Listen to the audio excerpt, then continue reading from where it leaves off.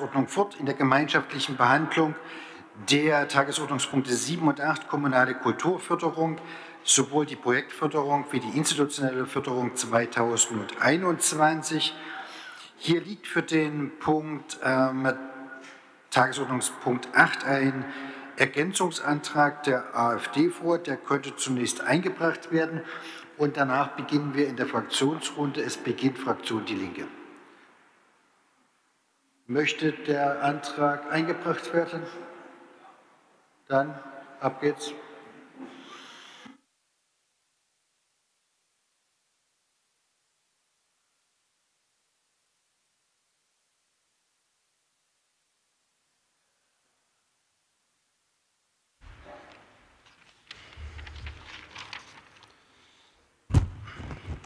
Sehr geehrter Herr Oberbürgermeister, werte Stadträte, liebe Bürger, liebe Kulturschaffende.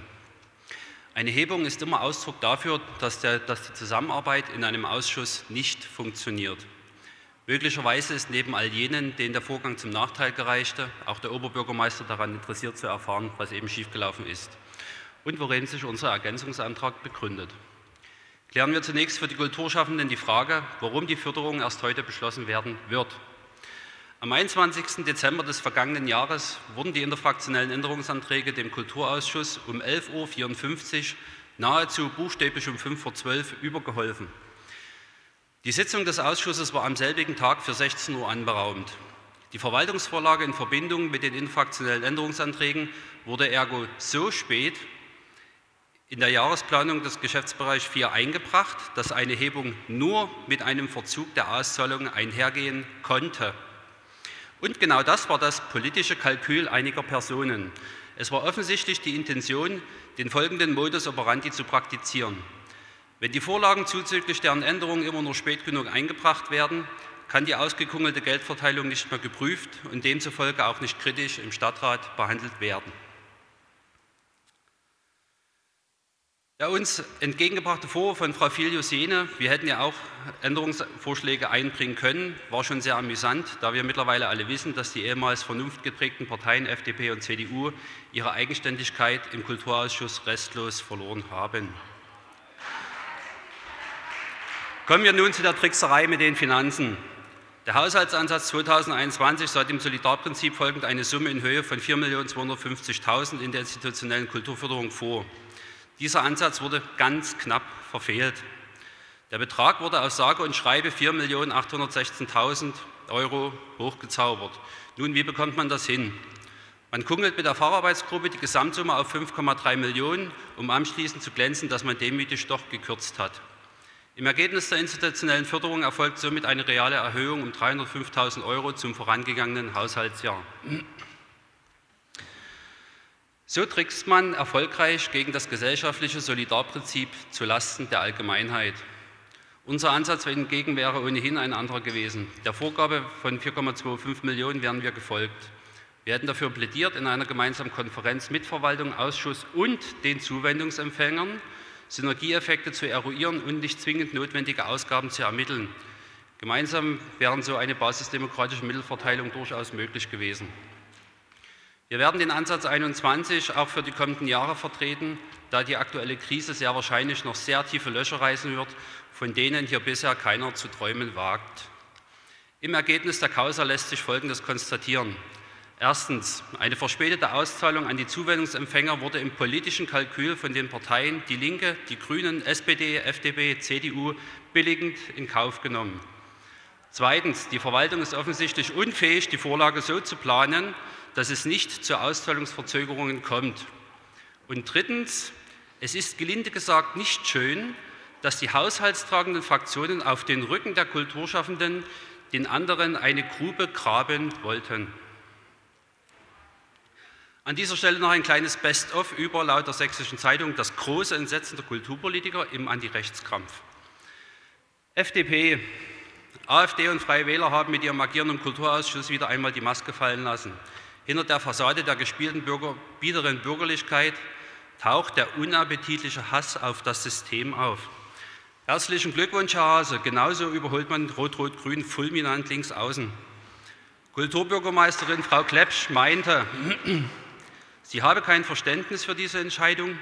Dies sei nicht vertrauensbildend gegenüber der freien Kulturszene. Diesem Vorwurf möchte ich den Paragraphen 41 Absatz, Absatz 3 der sächsischen Gemeindeordnung entgegenhalten. Und die Grünen, offenbar wollen AfD und Freie Wähler die Vereine am langen Arm verhungern lassen. Und die Bedürfnisse würden aufs Schändlichste mit Füßen getreten. Liebe Frau Filius-Jene, Sie sind die Einzige, der ich in diesem ganzen Licht- und Schattenspiel meinen Respekt zolle. Sie wissen eben, wie der König die Betriebsblinden einsetzt. In der Schlussfolgerung, in der Schlussfolgerung des gesamten Sachverhalts ergibt sich daher unser Ergänzungsantrag. Wir wollen frühzeitige Planungssicherheit für die Zuwendungsempfänger, größtmögliche Transparenz und eine weitestgehende Beteiligung aller Akteure. Nach dem heutigen Tag bin ich zuversichtlich, dass die kommende Kulturförderung besser geplant werden und der Kulturausschuss auch besser zusammenarbeiten wird. Vielen Dank. So, wir steigen ein in die Fraktionsrunde. Wie gesagt, beginnt Fraktion Die Linke, Herr Hecht.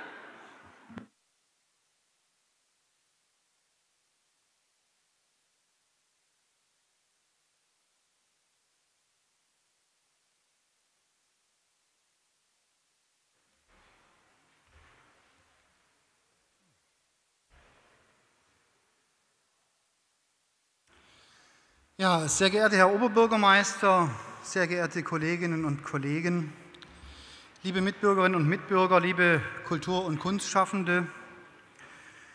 Heute im Stadtrat entscheiden wir über die kommunale Kulturförderung dieser Stadt im aktuellen Jahr. Wie viel bekommen die freien Träger, gemeinnützigen Vereine, Institutionen für ihre Arbeit und welche Projekte werden unterstützt? Normalerweise wird das im Kulturausschuss zu Ende eines Jahres beraten und beschlossen. Dort sitzen die Fachpolitikerinnen zusammen. Schon vor dem Kulturausschuss gibt es die Facharbeitsgruppen, die nach Genres unterteilt ihr Votum für die Förderung abgeben. Und es gibt den Kulturbeirat, der das insgesamt nochmal bewertet. Die Beratung und der Beschluss noch im alten Jahr ist auch deswegen dringend geboten, weil die Träger der Kulturarbeit, die Kunstschaffenden und die Projekte Sicherheit für ihre Planung brauchen. Das gilt natürlich umso mehr in dem andauernden Lockdown und vor der Unwägbarkeit der nächsten Monate, ja vielleicht Jahre. Und warum beschließen wir diesmal erst Ende Januar? Warum gibt es diese Verspätung? Na, weil die rechten Fraktionen AfD, und Freie Wähler halt mal ihr Mütchen kühlen wollten. Wenn ich es richtig verstehe, wollen manche sogar die kommunale Kulturförderung ganz abschaffen, Hellerau zumachen und was weiß ich nicht noch alles. Jetzt kommen Argumente nachgeschoben. Da, äh, da wäre mal der Begriff des Sahnebüchnen angebracht. Aber weil sie das alles nicht können, die Kulturförderung abschaffen, Hellerau zumachen, äh, die Corona-Diktatur abschaffen und was weiß ich alles.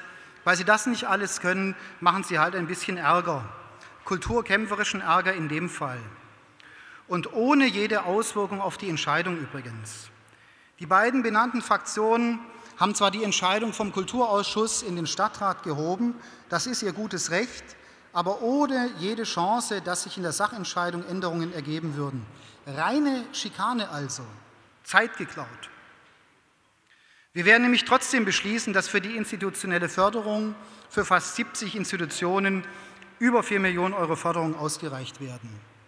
Hier ist von der großen Volkshochschule bis zum neuen Objekt Klein A, dem Ausländerrat, dem Schaubudensommer vieles, vieles, ja fast alles mit dabei. Und wir werden auch trotzdem beschließen, dass bei der Projektförderung für, ich glaube, 99 Projekte 436.000 Euro gefördert werden. Das geht dann von dem Amateurtheater, von Ausstellungsprogrammen und Stipendien äh, zu Stadtteilfesten wie der BRN oder dem Elbhangfest, dem deutsch-jüdischen Kulturdialog, zu sowas wie dem Regionalwettbewerb Jugend musiziert. Wie reich diese Institutionen und Projekte diese Stadt mit ihrem Angebot machen. Wie toll ist das, in einer Stadt mit diesem Reichtum leben zu können.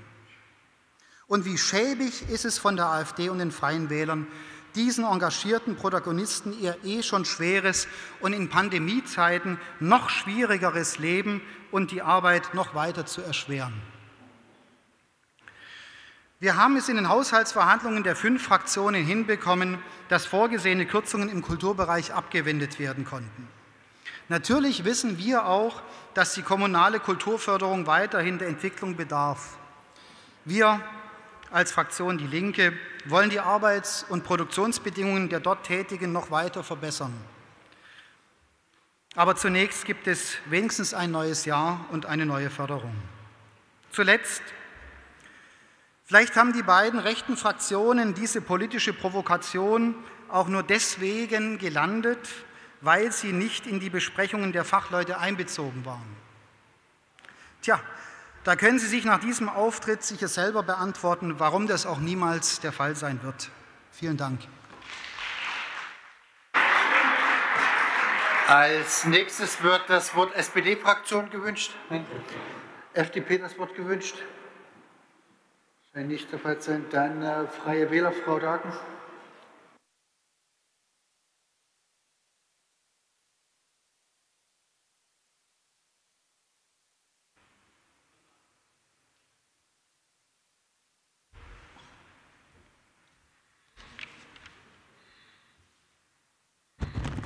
Ja, die Vorwürfe ad hominem, die kennen wir natürlich, aber ich werde Ihnen jetzt nicht die Freude bereiten, äh, darauf zu reagieren. Ich habe mich entschlossen zu agieren. Außerdem bin ich geborene Dresdnerin und denen geht der Spruch voraus, wir vergessen nichts, aber wir sind natürlich auch nicht nachtragend. So, also sehr geehrte Damen und Herren, sehr geehrter Herr Oberbürgermeister, liebe Kollegen, äh, am 17.12. letzten Jahres erging der mehrheitliche Beschluss zum Doppelhaushalt 2021 und 2022 der haushaltstragenden Fraktionen laut unseres Finanzbürgermeisters, Herr Dr. Lames, schon damals ohne Deckung und ohne Ausgleich. Trotzdem erging immer wieder aufs Neue der Hinweis auf die Novemberschätzung hinsichtlich der zu erwartenden Steuerannahmen. Ich sage das jetzt extra noch einmal, weil wir bereits am 17. Dezember letzten Jahres im vierten Tag im Lockdown, im harten Lockdown gewesen sind und das bis zum heutigen Tage. Es erfolgte eine Sondersitzung am 21.12. des Kulturausschusses zu den weitreichenden Änderungen in der institutionellen und in der Projektförderung mit Rücknahme von Kürzungen, Ausgleichen, auch Beibehaltungen und einigen wenigen Erhöhungen. Wer sich die Zeit und Muße mal nimmt und sich das Zahlenwerk etwas genauer anschaut, der wird die eine oder andere sehr ambitionierte Kuriosität dort feststellen. Insgesamt sollten in einer sehr wesentlichen Größenordnung Kürzungen zurückgenommen werden. Die Hebung in den Stadtrat aus Gründen der Öffentlichkeit, der Transparenz und hinsichtlich vor allen Dingen der haushalterischen Situation halten wir für absolut richtig und notwendig. Es gab eine Hausmitteilung vom 30. November des Beigeordneten für Finanzen. Ähm, Herr Dr. Lames sagte immer, man müsste ihn nur fragen. Also uns erreichte es und augenscheinlich den gesamten Rat erst im Januar 2021. Dieses beinhaltete eine Information zur Haushaltsverfügung, nämlich einer vorläufigen Haushaltsführung für das Jahr 2021. Ich nehme allerdings an, dass die Kulturbürgermeisterin am 30.11. davon schon in Kenntnis gesetzt worden ist. Was steht nun in dieser Information drin? Ich zitiere mal. Während der vorläufigen Haushaltsführung muss bei Zuwendungsbescheiden der Vorbehalt des Inkrafttreten der Haushaltssatzung 21-22 enthalten sein. Die Auszahlungen stehen somit natürlich unter Vorbehalt des Widerrufs. Wir erfahren auch zum wiederholten Male natürlich von einer Präferierung von Pflichtaufgaben. Ja, was bedeutet das nun eigentlich zum Thema Kulturförderung? Ist denn Kultur eine Pflichtaufgabe. So, dann schauen wir mal ins sächsische Kulturraumgesetz und da sehen wir, dass die Kulturpflege zu einer gesetzlichen Pflichtaufgabe erhoben worden ist. Allerdings folgen daraus weniger weitere äh, Konkretisierungen noch, dass der Umfang näher bestimmt worden wäre, was denn nun die Pflichten an Kultur wirklich sind. Wir erfahren lediglich, es gibt die harten Pflichtaufgaben, also die bestimmten wie Abfall, wie Abwasserentsorgung, Verkehr, Gesundheit und so weiter. Und es gibt eben auch, so leid es mir tut, die weichen und die unbestimmten Pflichtaufgaben und die sind der der Kultur. Dazu kommt noch, dass der geänderte Haushalt aufgrund seiner weitreichenden Änderungen erst per 25. Januar der Landesdirektion zugestellt worden ist. Und wer gut zugehört hat, der weiß, dass bis zur Bestätigung derer eben hier eine vorläufige Haushaltsführung im System ist. Nun höre ich immer wieder den Begriff der Systemrelevanz, den die Kulturschaffenden so gerne vor sich hertragen. Ich selbst bin Kulturveranstalterin, dies äh, unter anderem seit 25 Jahren in dieser Stadt und ich meine, dass dennoch unter derzeitigen Umständen oder vor allen Dingen unter derzeitigen Umständen man sehr kritisch und auch bilanzierend und vor allen Dingen eins, nämlich verantwortungsvoll in jedwedem Sinne agieren können muss. Und das doch bitte ohne die üblichen Empörungsrituale derer, die vor allem von der Stadt als für die Stadt leben.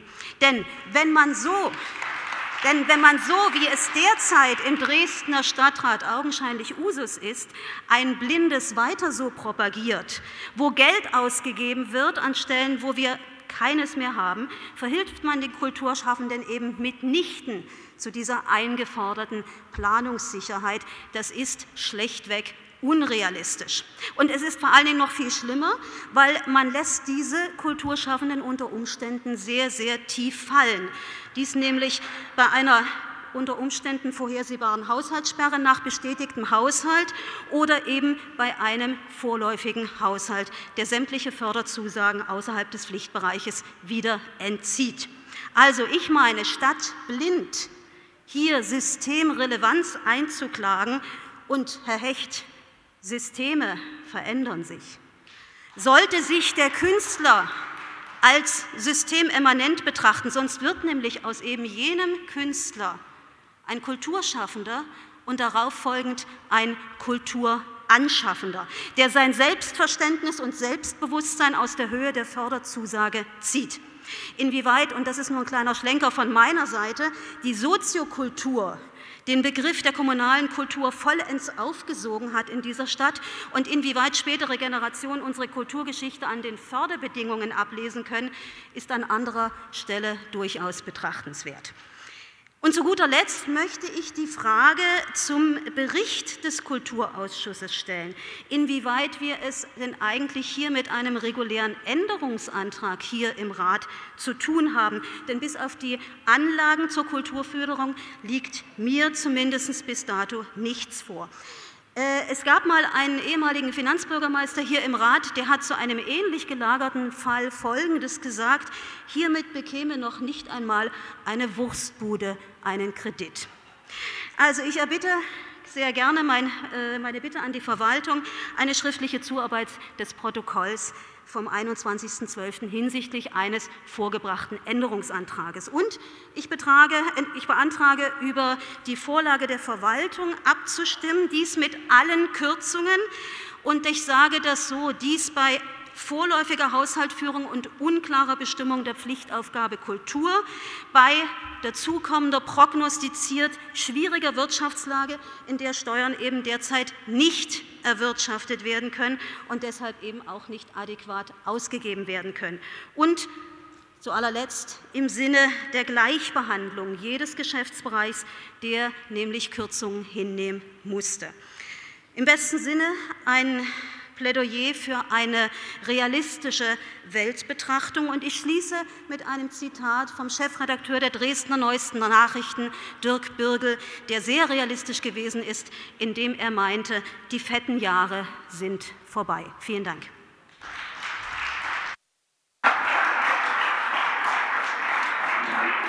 Als nächstes sind dann Bündnis die 90 die Grünen, Frau Filasine dran. Nur nochmal zu meinem Verständnis, Frau Dagen.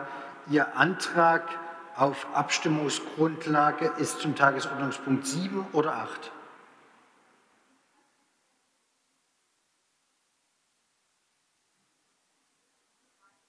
Für beide.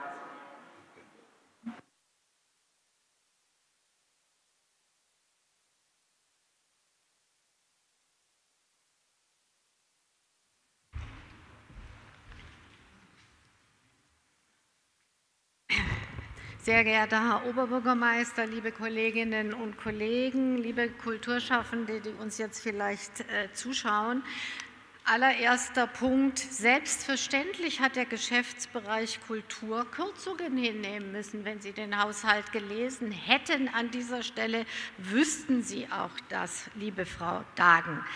Äh, das Zweite sage ich auch mal gleich vorweg. Der Vorbehalt des Widerrufs ist immer so. Sie sind ja erst seit dieser Legislatur im Stadtrat. Ich habe schon mehrere Haushalte äh, mitgemacht und immer ist es so, wenn wir die kommunale Kulturförderung am Jahresende ausreichen, haben wir nie schon einen genehmigten Haushalt. Und da wird es immer unter Vorbehalt äh, sozusagen die Bescheide ausgestellt. Aber sie können immerhin ohne Vorbehalt ausgestellt werden. Und das war jetzt durch ihr Agieren nicht möglich. Und da bin ich doch schon bei der Definition des Dudens für das Wort Destruktion. Das heißt nämlich dort Auflösung, Beseitigung, Demolierung, Vernichtung. Was die Damen und Herren von der AfD und den Freien Wählern mit dem Heben des Beschlusses für die kommunale Kulturförderung in den Stadtrat im Sinne hatten, war nichts anderes als Destruktion. Wo waren denn Ihre Vorschläge im Ausschuss? Auch Ihnen lagen die Zahlen hinsichtlich was können wir ausreichen, wenn die Kürzungen nicht ausgeglichen werden? Was schlagen die Facharbeitsgruppen vor? Bereits bei der ersten Lesung, nein, konkret eine Woche vor der ersten Lesung, also am 1. Dezember vor. Sie haben genau dieselben Möglichkeiten, in Mandatus reinzugucken und mit der Einladung zur ersten Lesung am 1. Dezember hatten Sie alle Zahlen. Haben Sie da angefangen zu rechnen, wo nachgesteuert werden muss? Haben Sie sich mit den Vereinen unterhalten? Was haben Sie denn in dieser Zeit gemacht? Ach so, ich vergesse, die AfD sicherlich musste gar nichts tun, denn sie wollte die kommunale Kulturförderung ja ganz abschaffen. Dann muss man natürlich auch nicht mit den Akteuren sprechen. Vielleicht brauchen Sie ja auch noch ein bisschen Nachhilfe, was eigentlich hinter der kommunalen Kulturförderung steckt. In der Tat ist es ja ein sehr trockenes Wort. Institutionelle Förderung noch trockener. Was verbirgt sich dahinter? Dahinter verbirgt sich die Arbeitsfähigkeit von zig engagierten, mit professionellen wie mit ehrenamtlichen Kräften arbeitenden Vereinen der unterschiedlichen Genres. Und was wird gefördert? Die Förderrichtlinie besagt, Zitat, eine institutionelle Förderung wird zur anteiligen Deckung der laufenden Geschäftsaufgaben wie Personal, Betriebs-, Sachausgaben und Honorare gewährt. Wie werden die Mittel verteilt? Herr Hecht hat es schon angesprochen, über einen ausgesprochen transparenten Prozess. Vorberatend ist in den einzelnen Sparten jeweils eine Facharbeitsgruppe, die, wie der Name schon sagt, sich aus unabhängigen Fachleuten zusammensetzt. Diese macht einen Vorschlag, welchen die Verwaltung meist aufgrund der begrenzten finanziellen Mittel an der einen oder anderen Stelle noch ändert. Und am Ende kann der normalerweise beschließende Kulturausschuss seinerseits noch entsprechende Justierungen vornehmen.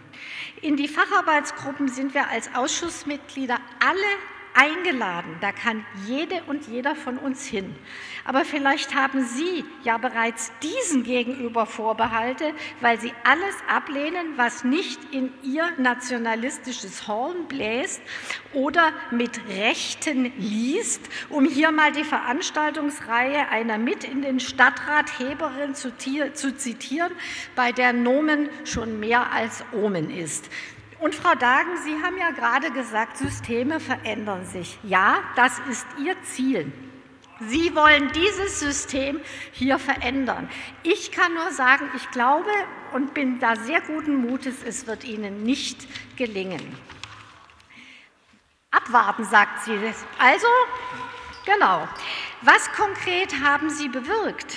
Sie haben etwas mehr als 5.300.000 für die Förderung von kulturellen Vereinen und kulturellen Projekten blockiert durch ihre Hebung in den Stadtrat. Von 67 durch Corona ohnehin schon schwer gebeutelten Vereinen, die am Jahresende keine Planungssicherheit hatten, wie es in 2021 weitergeht. 67 Vereine, von denen ich jetzt nur noch eins beispielsweise als Beispiel rausgreife, tatsächlich den Verein Erkenntnis durch Erinnerung, besser bekannt als Gedenkstätte Bautzner Straße, ein Ort der Erinnerung, Bildung und Begegnung. Und jetzt zitiere ich aus der Selbstdarstellung der Gedenkstätte, Zitat, erinnert an die Opfer der politischen Verfolgung in der sowjetischen Besatzungszone und der DDR, dokumentiert deren Schicksale und macht sie der Öffentlichkeit dauerhaft zugänglich. Zudem bietet sie den Betroffenen Raum für Austausch und Begegnung. Gleichzeitig erforscht die Gedenkstätte die Geschichte des historischen Areals. Sie untersucht Ursachen, Strukturen, Methoden und Folgen von Diktaturen sowie ihnen zugrunde liegende Ideologien. So etwas wollen Sie offensichtlich nicht fördern. Kommen Sie mir jetzt nicht mit der Haushaltssolidität, das haben Sie versucht. Da sind Ihre Argumente so löchrig wie Schweizer Käse, wenn man genauer hinschaut, wofür Sie Geld ausgeben wollen. Und hier schließt sich der Kreis. Sie wussten genau, dass im heutigen Stadtrat dieselbe breite Mehrheit steht wie im Ausschuss. Das war reine Destruktion und ich danke bereits jetzt allen Kolleginnen und Kollegen, die hier der Destruktion Konstruktivität entgegensetzen. Und das ist die überwältigende Mehrheit. Vielen Dank. Als nächstes die CDU-Fraktion, Frau Nikolaus.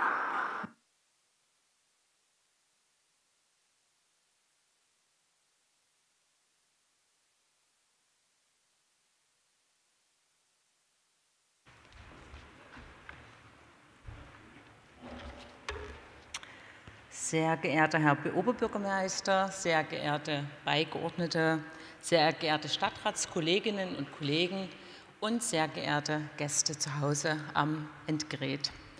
Ab dem 13. März letzten Jahres herrschte in den Konzertsälen, Museen, Clubs, Ateliers eine plötzliche Stille. Die Instrumente blieben still, das Geschnatter war weg, das Geraune ging nicht mehr durch die Gänge, Besucher blieben weg. Die Corona-Pandemie hatte die Kultur in, ihren facettenreichen, ähm, in ihrer facettenreichen Vielfalt mitten ins Herz getroffen. Keine Auftritte waren mehr möglich, keine Veranstaltungen, keine Gäste und natürlich keine Einnahmen. Deshalb war es uns als CDU-Fraktion im Dezember in der letzten Kreis, äh, Kulturausschusssitzung außerordentlich wichtig, dass die Gewährung der institutionellen Förderung für 2021 beschlossen wurde. Und, sehr geehrter Herr Rentsch, ich kann Ihnen versprechen, Frau Filius-Jene wird weder meine beiden Fraktionskollegen noch mich manipulieren können, denn wir sind alle drei kommunikativ so gut aufgestellt, dass wir unsere Ziele, die wir haben, durchsetzen können. So hatten wir nämlich als CDU uns dafür eingesetzt, es wurde bereits gerade genannt, dass die Gedenkstätte auf der Barzner Straße gefördert wird, dass das Putjatin-Haus gefördert wird und wir hatten uns ganz stark dafür eingesetzt, dass die Australe gefördert wird. Und all diese Projekte, die wir uns vorgestellt hatten, dass sie die Förderung erhalten, wurden im vollen Maße gefördert. Vielen Dank dafür. Diese und auch die anderen Institutionen sollten im Dezember eine Planungssicherheit erhalten. Leider wurde diese Vorlage in den heutigen Stadtrat gehoben, sodass alle Beteiligten einen weiteren Monat warten mussten. Wir fanden es nicht gut. Wir hatten uns dazu auch in der Presse geäußert. Und ich bitte Sie deshalb heute im Interesse aller Kulturschaffenden unserer Stadt und der Nutzer dieser Einrichtungen heute dieser Zulage zuzustimmen und ein Zeichen zu setzen, gerade jetzt in der Pandemie, in der Corona-Pandemie, ein Signal zu senden, wir halten zu den Kulturschaffenden, wir wollen der kulturellen Bildung einen Beitrag liefern Und es ist vorhin genannt worden, gerade diese Institutionen leisten einen großen Beitrag, wenn unsere Kinder nachmittags betreut werden sollen oder wir haben die Möglichkeit, auch außerschulische Angebote nutzen zu können. Und deshalb sind das sehr wichtige Institutionen und diese sollten gefördert werden. Vielen Dank für Ihre Unterstützung. So wird AfD noch mal das Wort gewünscht. Hey, haben Sie vor uns mitgemacht? Doch, Herr Braun, bitte.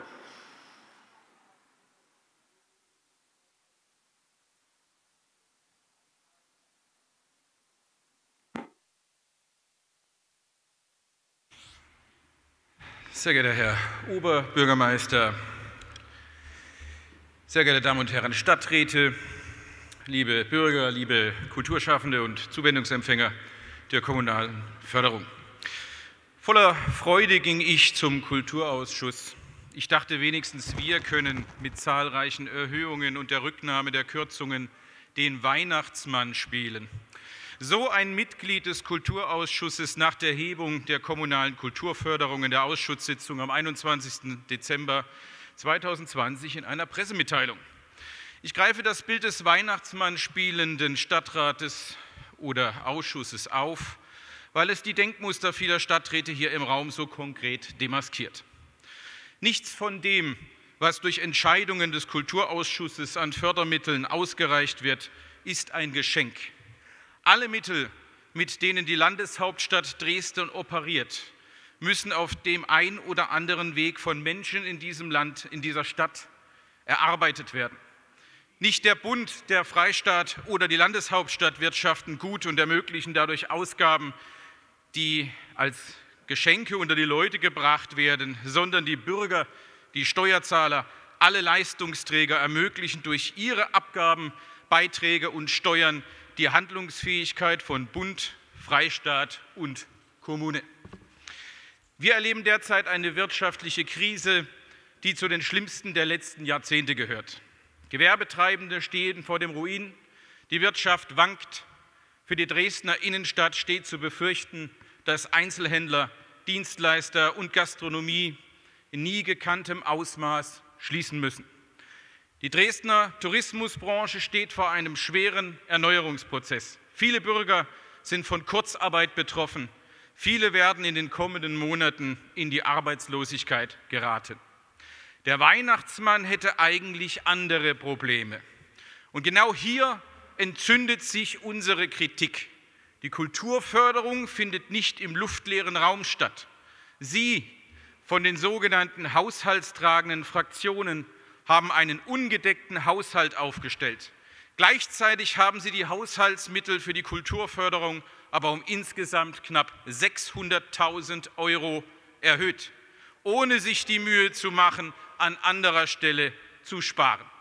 Es ist richtig, dass unserer Fraktion grundsätzlich die kommunale Kulturförderung zu unsolidarisch erscheint und wir hier generelles Kürzungspotenzial sehen. Jeder Cent, den wir bei Parkgebühren oder Elternbeiträgen nicht an die Dresdner weitergeben müssen, ist uns wichtiger als eine ausufernde Kulturförderung für Projekte, die sich bei Kreativität auch selbst tragen würden. Gleichwohl akzeptieren wir, dass die Förderung von Kultur auch im städtischen Interesse liegt, weil eine vielfältige, kulturell diverse Stadt eine attraktive lebenswerte Stadt ist für Touristen, für Geschäftsreisende und für die Dresdner selbst. Aber die Entscheidung über die Verwendung von finanziellen Mitteln muss im Kontext der gesamtstädtischen Finanzen erfolgen, insbesondere im Hinblick auf die Prioritätensetzung zwischen den Geschäftsbereichen. Pauschale Kürzungen konsumtiver Ausgaben im Haushaltsplan und zugleich die Erhöhung der Transferaufwendungen passen nicht zusammen. Vielen Dank. So wird weiterhin das Wort gewünscht. Das sehe Geschäftsordnungsantrag Herr Rentsch, bitte.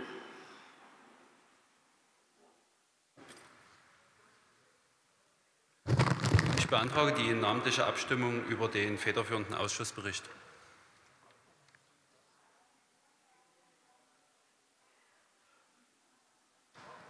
So, dann hatte sich die Frau Dagen noch gemeldet.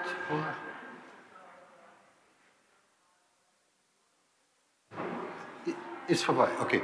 Weitere Wortmeldungen sehe ich nicht. Dann äh, kommen wir in die ähm, Abstimmung und haben zunächst ähm, den Antrag von Frau Dagen als Abstimmungsgrundlage die ähm, Vorlage im, also den Beschlussvorschlag der Verwaltung zu nehmen. Wer diesem folgen möchte, den bitte ich jetzt um Stimmzeichen.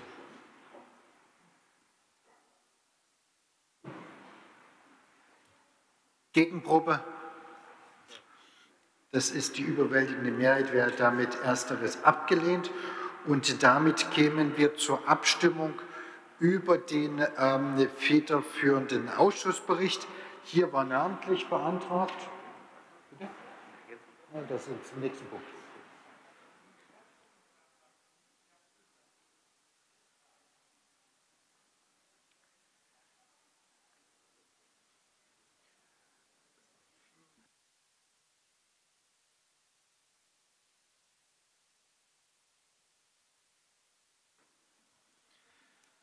Wir prüfen es kurz nochmal. Äh, ich will nur sicher sein.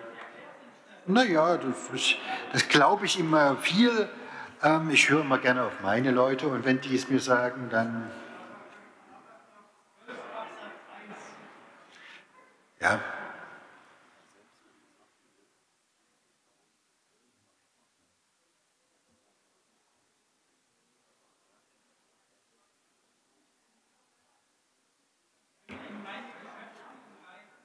Hm?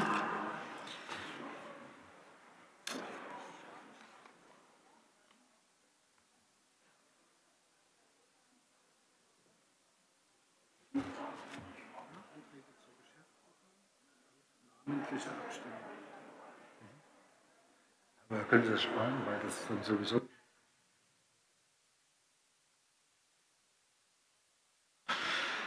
Ist nur Spielerei. Also, dann äh, ähm, ist zwar jetzt die Reihenfolge nicht ganz richtig, aber ähm, äh, ich bitte das mir nachzusehen. Ähm, es war ein äh, Geschäftsordnungsantrag auf namentliche ähm, äh, ähm, Abstimmung. Ähm, wer diesem Geschäftsordnungsantrag seine Zustimmung geben möchte, den bitte ich jetzt um Stimmzeichen.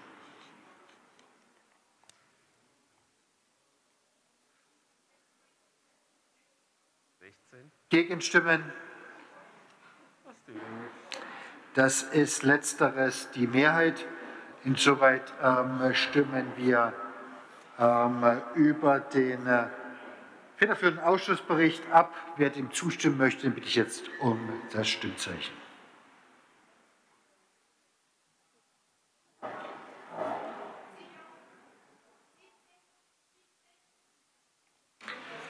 Gegenstimmen.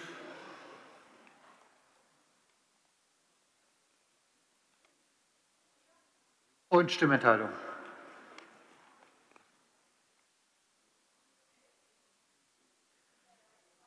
Zur Geschäftsordnung Kerenc. Ich habe hier Unklarheiten beim Freien Wählern gesehen, bei den Abstimmungsverhalten, bitte deshalb um namentliche Abstimmung. Es kam, wie es kommen musste. Insoweit äh, hätten wir das auch kürzer haben können. Also, auf geht's. Wir wiederholen die Abstimmung und das in einer namentlichen Abstimmung. Ich darf um entsprechenden Aufruf der einzelnen Stadträte und Stadträte bitten. Frau Arnert, Frau Apel, Herr Aschenbach,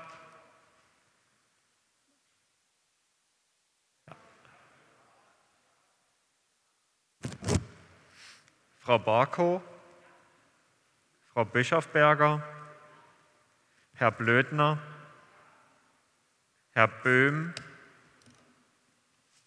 hm, ja, Herr Braun, Herr Dr. Brauns, Herr Breuer, Frau Kaspari, Herr Kolditz, Frau Dagen, Herr Deppe, Herr Dietze, Herr Drews, Herr Engel, Frau Filius-Jene, Herr Fischer, Herr Flemming, Frau Frohwieser, Frau Dr. Geitsch, Herr Genschmer, nicht, nicht da, Geitsch ist nicht da. Genschmer war nein. Herr Gilke,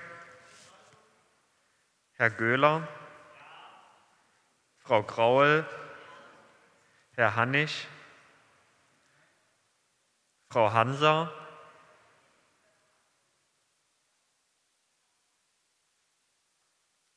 Herr Hecht, nee, Hase ist doch befangen, oder? Herr Hecht, Frau Holowenko, Herr Kaden, Herr Kaniewski, Herr Kiesling, Frau Krause, Herr Krüger, Herr Lazinski, Leo Lenz, Herr Lichti, Herr Lommel, Herr Löser, Herr Malorni, Frau Marschner, Herr Mattes, Frau Mühle, Herr Müller, Frau Nikolow, Herr Nietzsche,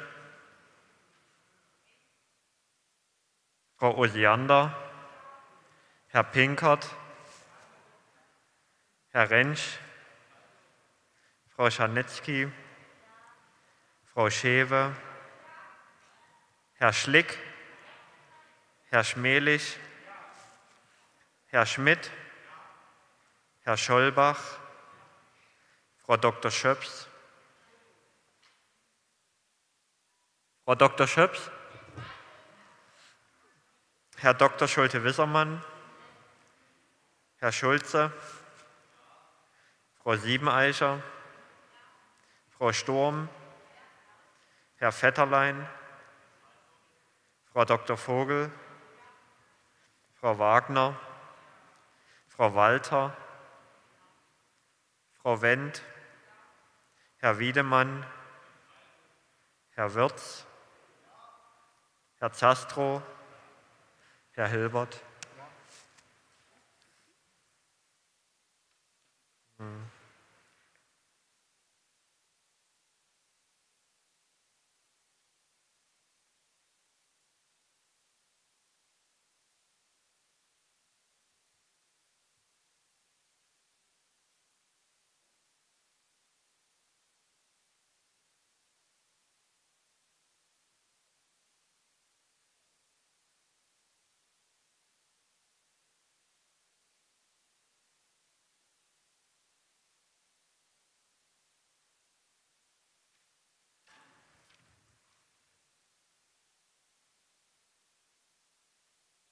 Das Abstimmergebnis lautet 53 Ja-Stimmen, 4 Nein-Stimmen bei 12 Enthaltungen. Damit so zugestimmt. Wir kommen damit zur Abstimmung im Tagesordnungspunkt 8. Auch hier ist beantragt, zur Abstimmungsgrundlage ähm, zu machen ähm, die Vorlage der Verwaltung, Beschlussvorschlag. Wer dem folgen möchte, bitte ich jetzt um Dann äh, stimmen wir erstmal ab, wer für namentliche Abstimmung ist. Gegenstimmen. Letzteres ist die Mehrheit. Ähm, wird damit abgelehnt. Dann kämen wir jetzt zur Abstimmung, wer für die Abstimmungsgrundlage ähm, Beschlussvorschlag Verwaltung ist. Den bitte ich jetzt um Stimmzeichen.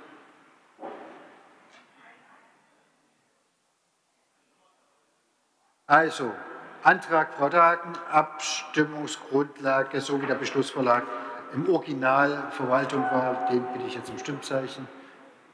Das dürften drei sein, wenn ich jetzt richtig sehe. Gegenstimmen ist die überwiegende Mehrheit, wird damit abgelehnt. Damit ist die Abstimmungsgrundlage der federführende Ausschussbericht. Zu diesem federführenden Ausschussbericht gibt es einen Ergänzungsantrag der AfD.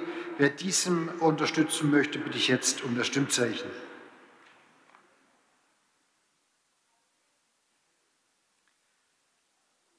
Gegenstimmen.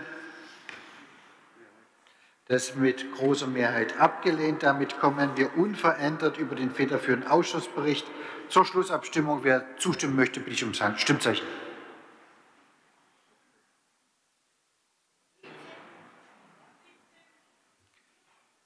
Gegenstimmen und Stimmenthaltung.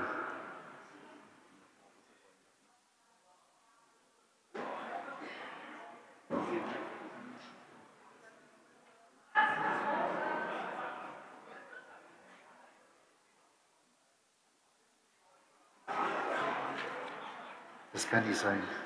Das waren ja viel mehr Enthaltungen.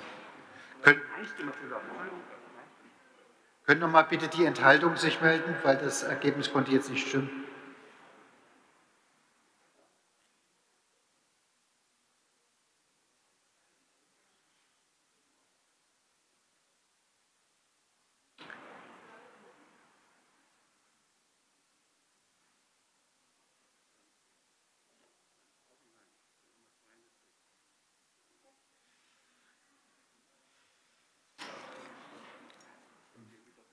Also äh, ähm, in der Erzählung, wir müssen das wiederholen, weil äh, das Abstimmungsergebnis ergibt mehr Stadträte, als ähm, wir überhaupt haben könnten. Ähm, und insofern ähm, äh, müssen wir es wiederholen. Ähm, Geschäftsordnung, Herr Hannig. Können sich die Wiederholung möglicherweise sparen, weil ich habe sowohl bei Ihnen, Herr Oberbürgermeister, als auch in der AfD-Fraktion auch hier wieder Unstimmigkeiten festgestellt und ich beantrage deswegen die namentliche Abstimmung. Und ich will anmerken, dass ich es schändlich für eine Demokratie finde, wenn von Seiten der Nationalen Front, entschuldigen Sie, liebe Kollegen, dass ich Sie so nenne, hier solche Sprüche kommen wie ich habe Kinder zu Hause, jetzt macht mal hin. Das ist ein Zirkus. Die demokratischen Regeln gelten für uns alle und wenn links-grün solche Anträge stellt, dann kann rechts genauso solche Anträge stellen. Ich nehme das überhaupt nicht persönlich. Ich beantrage die persönliche und namentliche Abstimmung. Wir ähm, gehen ähm, direkt in die namentliche Abstimmung rein, dann haben wir ein sauberes Ergebnis. Ähm, und ich darf bitten um die entsprechenden Aufruf ähm, der Stadträte und Stadträte. Wie gesagt, wir stimmen ab über den federführenden Ausschussbericht. Frau Arnert. Frau Apel, Herr Aschenbach, ja, Frau Barkow, Frau Bischofberger, Herr Blödner, Herr Böhm, Herr Braun, Herr Dr. Brauns, Herr Breuer, Frau Kaspari, Herr Kolditz, Frau Dagen, Herr Dr. Deppe, Herr Dietze, Herr Drews, Herr Engel, Frau Filius-Jene, Herr Fischer, Herr Flemming, Frau Frohwieser, Frau Dr. Geitsch, Herr Genschmer, Herr Gilke, Herr Göhler, Frau Graul, Herr Hannig, Frau Hanser, Herr Hase, Herr Hecht, Frau Holowenko, Herr Kaden, Herr Kaniewski, Herr Kiesling, Frau Krause, Herr Krüger, Herr Lazinski, Leo Lenz, Herr Lichti, Herr Lommel, Herr Löser, Herr Malorni, Frau Marschner, Herr Mattes, Frau Mühle, Herr Müller, Herr Müller, Frau Nikolov, Herr Nietzsche, Frau Dr. Osiander, Herr Pinkert, Herr Rentsch, Frau Scharnetzky, Frau Schewe, Herr Schlick, Herr Schmelich, Herr Schmidt, Herr Schollbach, Frau Dr. Schöps, Herr Dr. Schulte-Wissermann, Herr Schulze, Frau Siebeneicher, Frau Sturm, Herr Vetterlein, Frau Dr. Vogel, Frau Wagner, Frau Walter, Frau Wendt, Herr Wiedemann, Herr Wirz, Herr Zastrow, Herr Hilbert.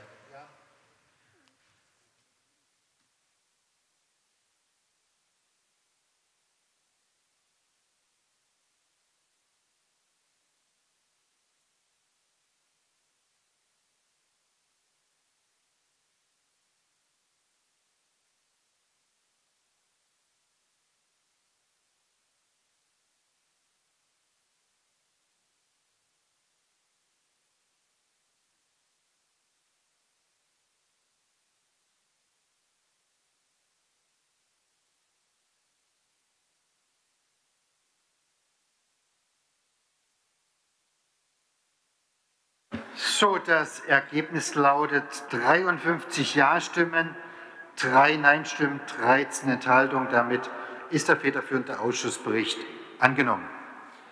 Damit kämen wir